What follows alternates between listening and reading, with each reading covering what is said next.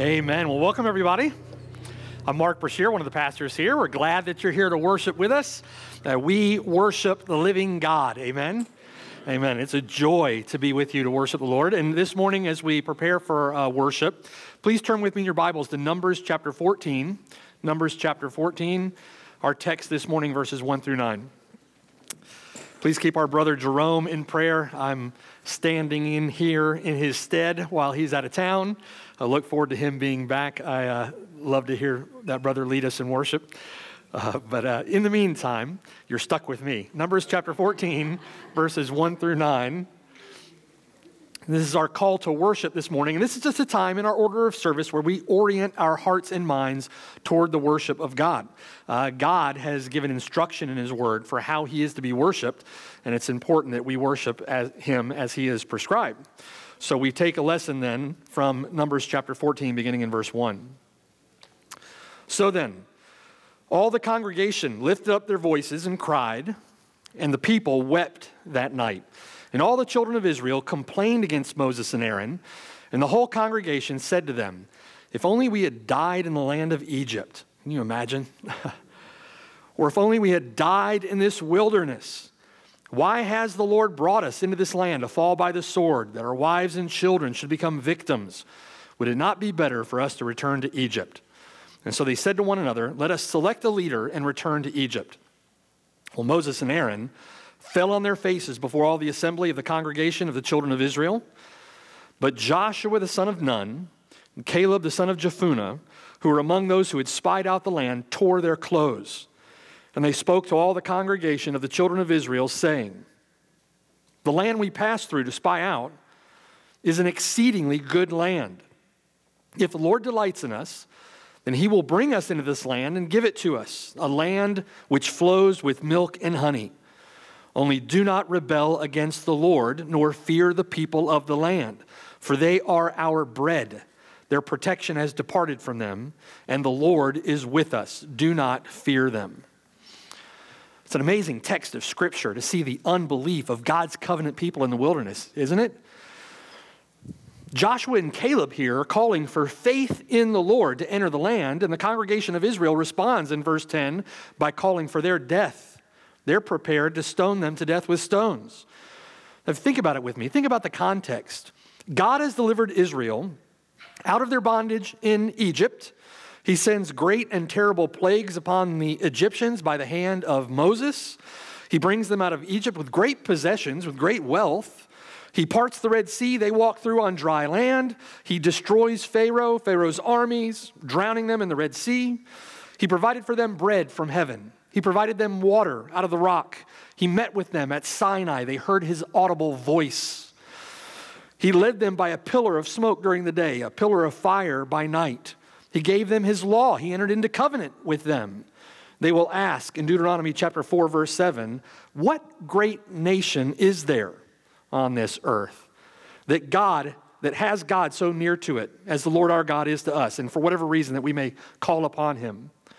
And yet, for all that, when the children of Israel come to Kadesh Barnea in the wilderness of Paran to the southern border of the promised land of Canaan, the land that God had promised to give their fathers, they refused to trust the Lord. For all that God had done for them, they refused to trust the Lord.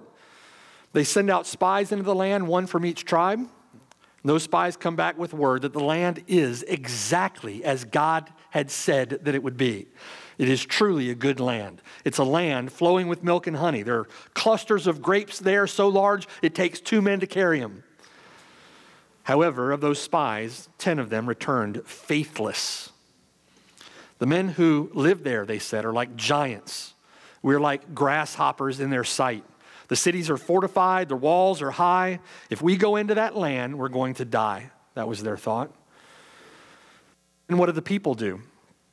They respond with faithlessness themselves. It's interesting, isn't it, that often faithlessness is contagious. Uh, if you are faithless, you can spread that cowardly, wicked faithlessness to other people.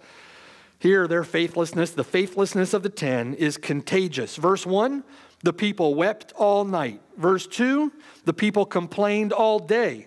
Verse 4 let's go back to Egypt.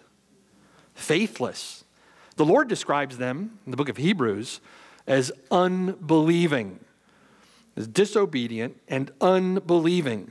All, of course, except for Joshua, the son of Nun, and Caleb, the son of Jephunneh. Verse 7 The land we pass through to spy out is an exceedingly good land, they would say. If the Lord delights in us, then he will bring us into this land and give it to us, a land which flows with milk and honey. And of course, the Lord delighted in them. They were his covenant people. Of course, the Lord delighted in them. Well, Moses records the Lord's response in Deuteronomy chapter 1, verse 34. The Lord heard the sound of your words, Moses says to the children of Israel. And he was angry, and the Lord took an oath, saying, Surely not one of these men of this evil generation shall see that good land of which I swore to give to your fathers. It's a terrifying judgment, isn't it? Not one. We know that to be true. Every one of that first generation, the emancipation generation, every one of them died in the wilderness, except for Joshua, the son of Nun, and Caleb, the son of Jephunneh. The children of those lived and entered into the land. But the Lord says, Caleb, he shall see it. To him and his children I'm giving this land on which he walked, because he wholly followed the Lord. And 38, Joshua the son of Nun, who stands before you. He shall go in there, encourage him, for he shall cause Israel to inherit it. Caleb and Joshua simply believed God and they trusted him for his promises. Listen, you and I are here because of God's promises, aren't we? We're here for those things. We're here because God has promised in his Son, our Lord Jesus Christ, to, through faith in him, re- forgive us all of, our sin, of all our sin, to give us an inheritance with him in heaven. We've been delivered out of bondage. We've been delivered out of bondage to our sin. We've been given the bread of life, the Lord Jesus Christ. We've been nourished with life giving water, a fountain of life. Though he was rich, yet for our sakes he became poor, that we through his poverty might become rich. And the Lord has carried us through this wilderness, as he says in Deuteronomy 1, as a man carries his own son. And will then you and I presume to be faithless or unbelieving in our worship?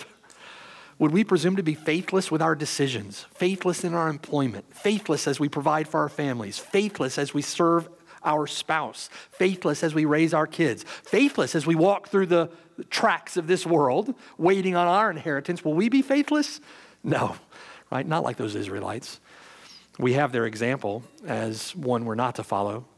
So let's worship the Lord now in faith, right? Let's worship, let's sing to the Lord with hearts full of gratitude for all that God has done for us in Christ, and let's sing as those people who believe God for his promises. Amen? Pray with me. Father in heaven, Lord, we believe you. We take you at your word because you are faithful and steadfast, immovable. And we trust you, Lord. We trust in you. God our Father. We trust in you, God the Son. We trust in you, God the Holy Spirit. And we thank you, Lord, for the blessed privilege of your gracious promises to us in Christ, having turned us from our sin, having turned us to the Savior, and having given us an inheritance with Him. We now, with grateful hearts, sing praises to you. We long to hear your word preached and to see wondrous things from your law. Help us now, Lord, uh, in spirit and in truth, with heart, soul, mind, and strength, to worship you uh, as is right that we would do. Help us, Lord, now in this we pray. In Jesus' name, amen.